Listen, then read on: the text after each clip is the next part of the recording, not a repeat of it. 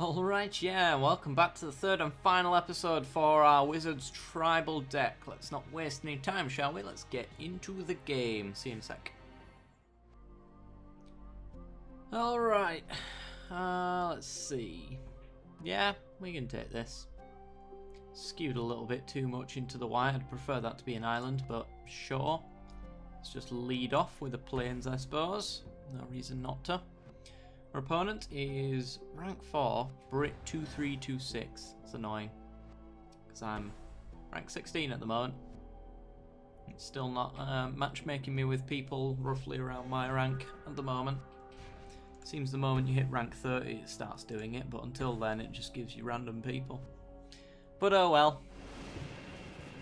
Down at the lower ranks you get some more interesting decks to look at, which always intrigues me. Though, opponent's on 66 cards, so I can imagine they are not too familiar with the game, or at least don't care to get to a uh, professional standard. More for fun, really. Right, we've missed our land drop, so I think I'm going to loot with Jace. Not sure what I'm going to drop yet. It's black, white.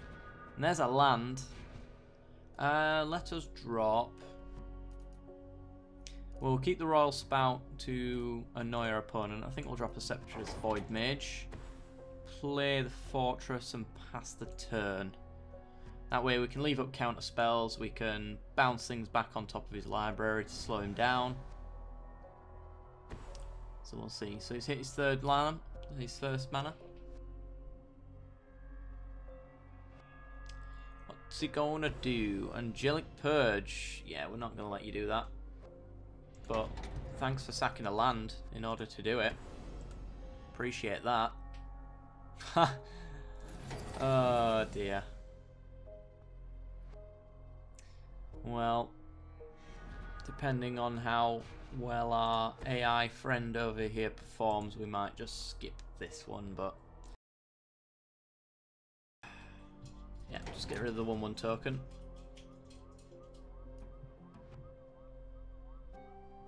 He gets to Scry 2, we Declaration in Stone. Or Angelic Purge. Angelic Purge is probably better. Kill that. Yep. Get rid of the planes. Flips all of our wizards.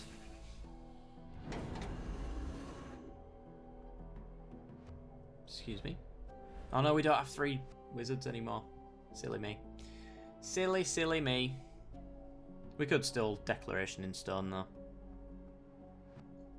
It's Declaration in Stone. This. No, I've done it again. I'm an idiot. Oh no, it's fine. It's fine. It's fine. It's fine. Should have done the planes, But we're fine. oh dear. There we go. And we win. Well, that was long and drawn out. Alright guys, I'll see you in the next game.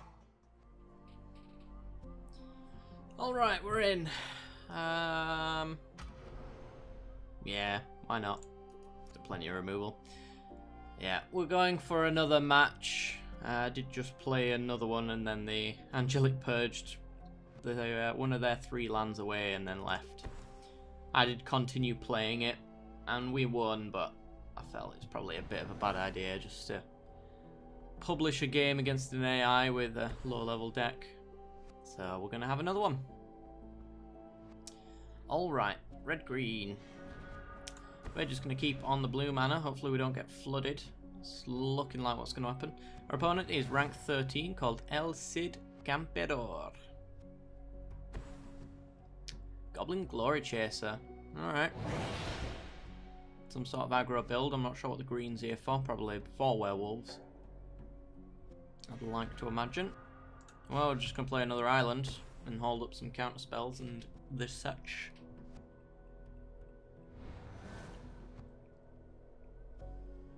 So he's going to be able to get him with this one, which I'm fine with. And it will become a 2-2 menace once it gets its renown trigger.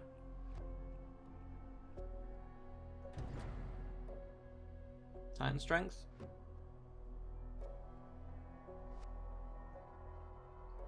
Something like that. Some sort of pump spell. Or he's decided against it. That'll also do, I suppose. Hmm. Makes me wonder. Well, there's another counter spell. Let's just continue to pass the turn over. Not going to Roil Spout it away because he will just be able to play it back in the same turn with very little uh, downside. I'd prefer to Roil Spout something away that it took an entire turn to cast. So we'll just continue playing our lands. The further we get down into mana count, the more powerful we become. Alright, another one. Well, he is hoping for a declaration in stone, that'd be quite nice. And it's not, it's a Void Mage. Void Mage is alright. What it does is allows us to bounce his 2-2, which makes the 1-1 difficult to get through. And then it's going to force either a burn spell or some sort of creature pump, which is another card out of his hand. Which we won't be bothered about countering. So yeah, let's do that. Hopefully this works out the way that I see it doing it. He could also end step burners and then get through. But yet again, we want all the removal out of his hand by the time we've got the Docent of Perfection in our hand. Ready to cast, because we are on curve to do it now. So he's at 4 mana. Yeah, that's fine, I'm gonna block it. I, I honestly don't care if you play a pump spell. Wildsize. Okay, comes a 3-3 with trample, so he does get his renowned trigger anyway. And he gets a card draw off of that. I'm gonna play his other one. Yep, there it is.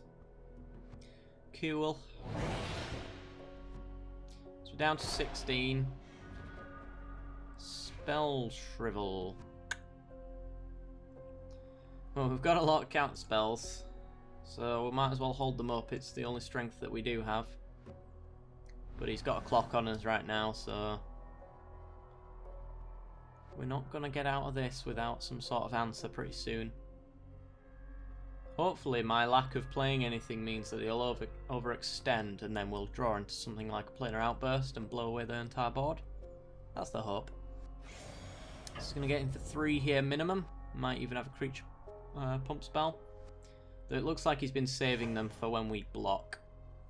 So I doubt he's going to use them until the end when they threaten to kill us, which is correct play. Seed Guardian.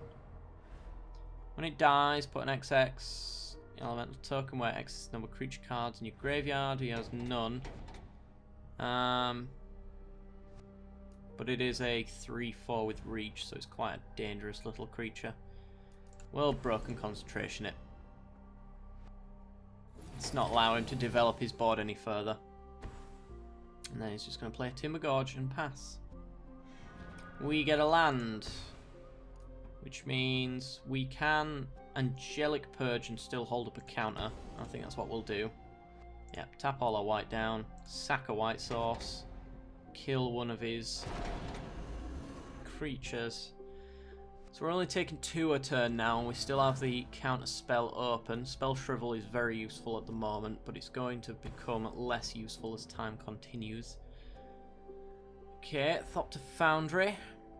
Can activate that right now if he chooses to do so. Thopter Engineer. Yeah, that's going to get out of hand if we don't get rid of it.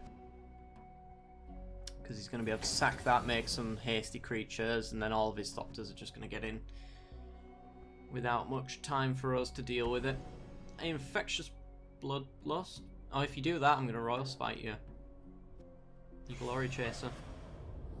So there's that. You could do that. At least we now know there's an Infectious Bloodlust in his hand. That's one of his cards. Not going to play it at all. He's probably going to wait until he's convinced we don't have an answer for it. Alright, well, I'm going to pass the turn again. We are up to 6 mana now, so we can awaken the Roil Spout and get something down to start blocking damage.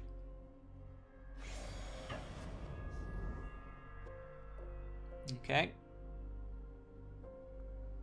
I want to see that infectious bloodlust come down. I want to see it soon.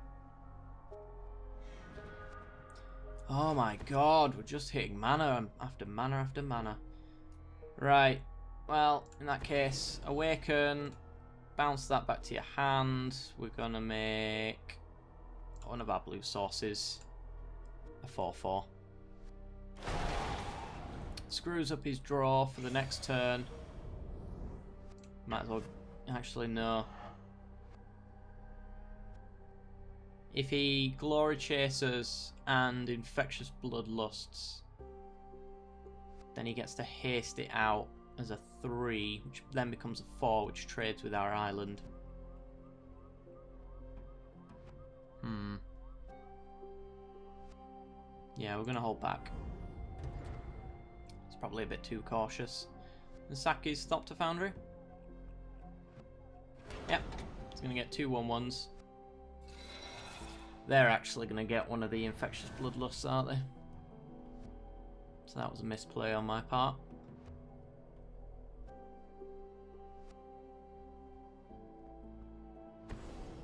Nissa's Judgment. Support 2. And then they all fight me. Oh yeah. So we've lost our island. We're just getting dominated here. Absolutely dominated.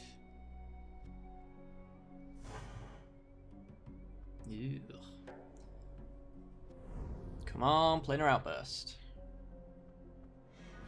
And I think we pretty much just lose now. Glory Chaser comes down with a Bloodlust. We counter the Bloodlust. We can awaken with a Scatter to the Winds, which is likely what we have to do, but these are just going to kill us. Oops. Threaten him with that. That's what we want to counter. Counter that instead and then make a plains. We have a blocker now for the ground. And he has another one. And that's going to be the game. Alright. Well, that sucks. GG.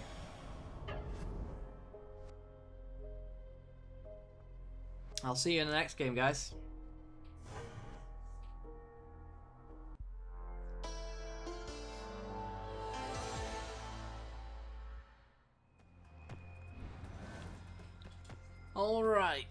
Draw. Um, yeah, this is a keeper. We've got turn 2 telling time, turn 3 we can hold, hold up counter spells, we've got planeswalker removal, we've got our end game card in hand, so I think we're alright. We're against red, so this actually might be too slow. What do we draw? Reflector Mage. It may no longer be too slow. Oh yeah, our opponent is rank 10, called Dane the Dane. He has the correct amount of cards.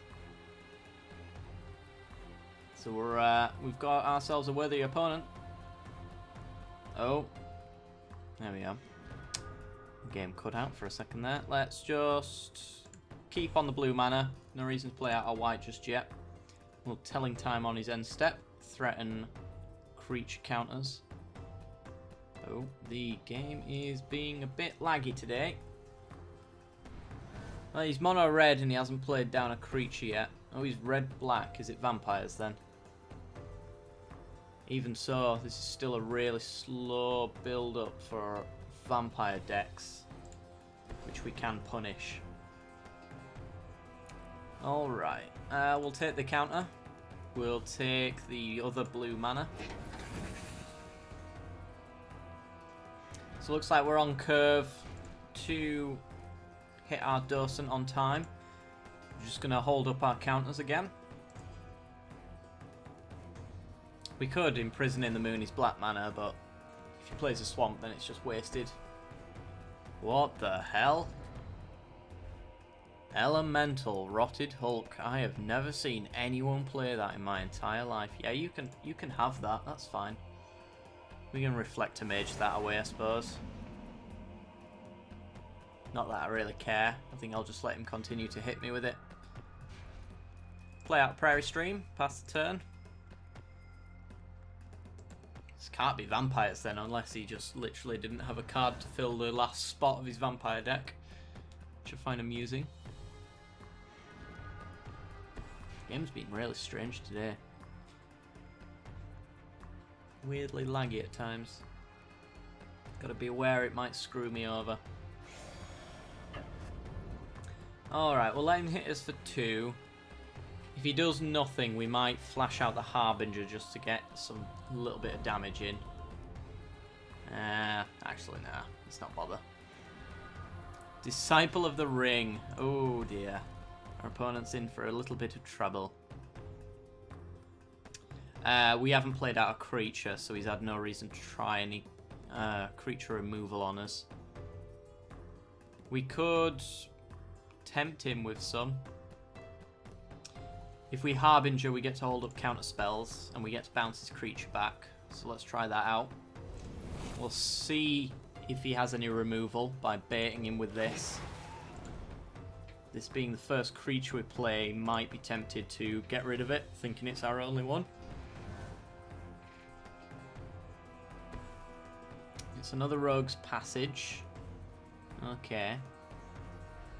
Their origin uncommon, so this guy's not playing on uh, budget decks. Or at least not totally. Oh my god, what's this?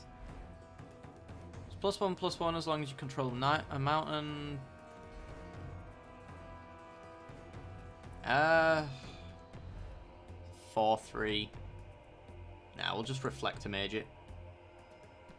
Hopefully we hit a land and then we get to hold up our counters again. Also, it progresses us towards our end goal. Or our declaration in stone. Hmm.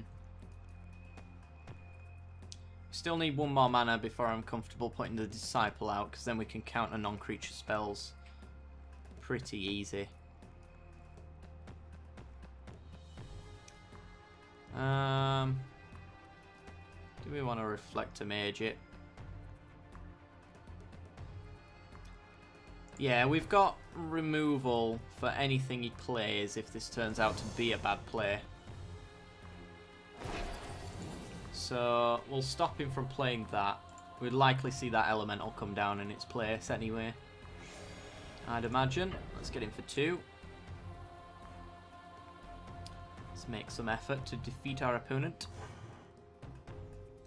And then pass the turn over. So it's either that elemental or it's a new threat and if it's threatening enough, we have removal for it. Just hoping we hit a land, and if we do, then we can hold up Disciple. Reave Soul. Alright, that's fine. There's the removal we were worried about, and there's some more of it. Sweet. Fantastic. Alright, and that's just a counter spell. There's no point putting the Docent out because it won't be flipping anytime soon. Actually, you know what? He has already played out one of his firecrafts. His removal seems to be for smaller creatures. Yeah, let's do it. It's 5 damage per turn.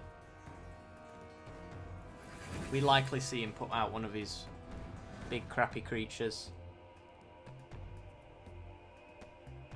And if not, we have Disciple. Disciple can do some work. Yep, Nightfire Giant. Which means Docent's going to stay down and we'll hold up counter spells for the rest of the game. To keep it alive.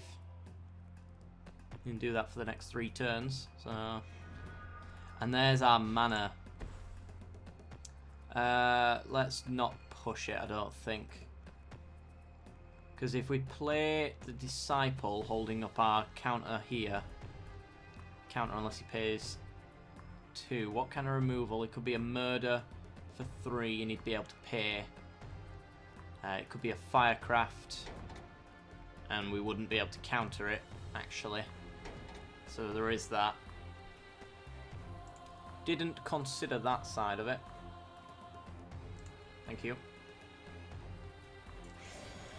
So that was a bit of an oversight on my part, actually. But is uh, one in slightly over 46 chance of him having that card or drawing into it in the next turn. So I think we can still perform a racing scenario. We've just got two creatures and an instant in there, haven't we? Yeah. So I'd like some more instants in the graveyard for the Disciple to use. That would be nice. At the rate that we're going now, we are going to win this race. We can even at any point Declaration in Stone the Nightfire Giant and then absolutely win it. We have to worry about burn spells though. So at, at some point during this little racing back and forth, eh, you can have that. That's fine. At some point we are going to have to remove this just to potentially get rid of any uh, burn scenarios that might occur.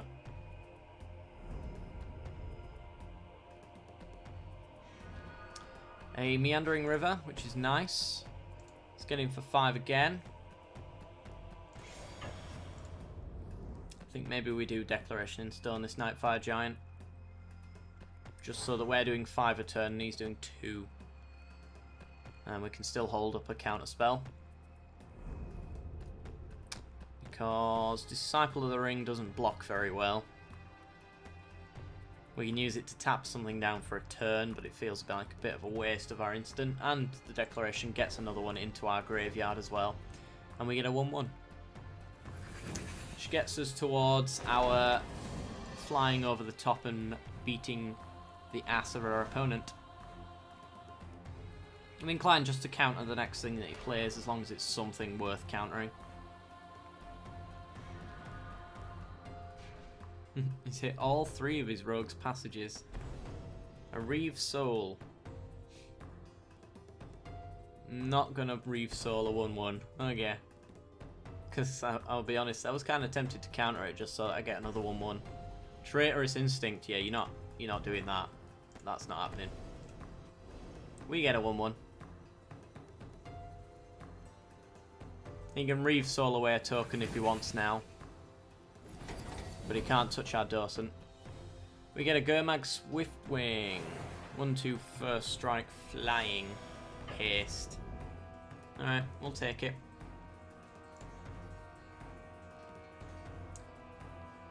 Blue. There we go.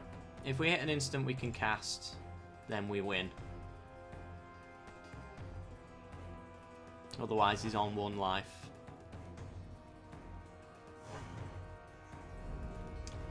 So, moment of truth, do we hit an instant? We do. There we go. Right, Roil Spout. Away, he's Gurmag Swiftwing. We get another wizard, we flip our wizards, and we go in for the kill, holding up a counterspell. Fairly dominating match that time. Fantastic. Boosh. Really do enjoy this deck, it's a lot of fun.